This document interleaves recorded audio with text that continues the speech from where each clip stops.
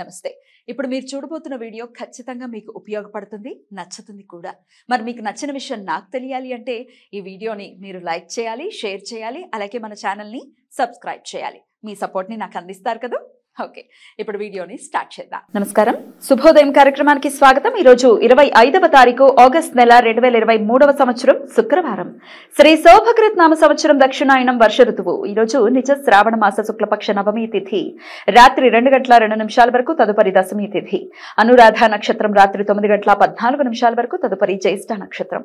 నక్షత్ర వర్జం మధ్యాహ్నం రెండు గంటల నలభై రెండు నిమిషాల నుండి సాయంత్రం నాలుగు గంటల పదిహేను నిమిషాల వరకు. అమృతకాలం రాత్రి పన్నెండు గంటల మూడు నిమిషాల నుండి రాత్రి ఒంటి గంట ముప్పై ఏడు నిమిషాల వరకు. హైదరాబాద్ ప్రాంతం వారికి సూర్యోదయం ఉదయం ఆరు గంటల ఒక్క నిమిషాలకు సూర్యాస్తమయం సాయంత్రం ఆరు గంటల ముప్పై ఐదు నిమిషాలకు. చంద్రోదయం మధ్యాహ్నం ఒంటి గంట ఇరవై మూడు నిమిషాలకు చంద్రాస్తమయం రాత్రి పన్నెండు గంటల ముప్పై ఏడు నిమిషాలకు. అభిజిత్ ముహూర్తం పగలు పదకొండు గంటల యాభై మూడు నిమిషాల నుండి మధ్యాహ్నం పన్నెండు గంటల నలభై మూడు నిమిషాల వరకు.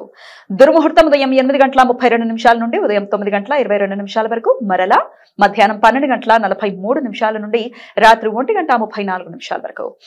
రాహుకాలం ఉదయం పది గంటల నలభై నాలుగు నిమిషాల నుండి మధ్యాహ్నం పన్నెండు గంటల పద్దెనిమిది నిమిషాల వరకు. గుళిక కాలం ఉదయం ఏడు గంటల ముప్పై ఐదు నిమిషాల నుండి ఉదయం తొమ్మిది గంటల పది నిమిషాల వరకు. యమగండ కాలం మధ్యాహ్నం మూడు గంటల ఇరవై ఏడు నిమిషాల నుండి సాయంత్రం ఐదు గంటల ఒక్క నిమిషాల వరకు. ఈ రోజు వరలక్ష్మి వ్రతం. శ్రావణ మాస శుక్లపక్షంలో వచ్చే ఆఖరి శుక్రవారం రోజున భక్తులు వరలక్ష్మి వ్రతం ఆచరిస్తారు. వివాహిత స్త్రీలు తమ సౌభాగ్యం కోసం ఈ రోజు ఉపవాసం ఉండి లక్ష్మీదేవిని పూజిస్తారు. ఈ రోజు వరలక్ష్మి వ్రతం ఆచరించడం వలన అష్టలక్ష్మి రూపాలను పూజించినంత శుభ ఫలితాలు కలుగుతాయి అని భక్తుల నమ్మకం. ఈరోజు కౌమారిదేవి పూజ. దుర్గాదేవి సప్తమాతృక రూపాలలో ఒకటైన కౌమారిదేవి కుమారస్వామి శక్తులకు ఆధారభూతమైన శక్తి అని పురాణ వచనం.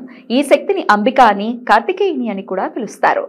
శత్రు బాధల నుండి విముక్తి కోసం భక్తులు ఈ రోజు కౌమారిదేవి పూజ చేస్తారు. శుక్రవారం అనురాధ నక్షత్ర కలయిక ఉండటంతో సర్వార్థ సిద్ధి యోగం ఈ రోజు సూర్యోదయం నుండి ఉదయం తొమ్మిది గంటల పద్నాలుగు నిమిషాల వరకు ఉంటుంది.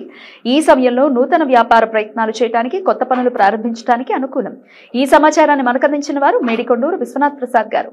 ఆయనకు కృతజ్ఞతలు తెలియజేస్తూ లక్ష్మీదేవి స్మరణతో సమస్త సన్మంగళాన్ని భవంతు. నమస్కారం.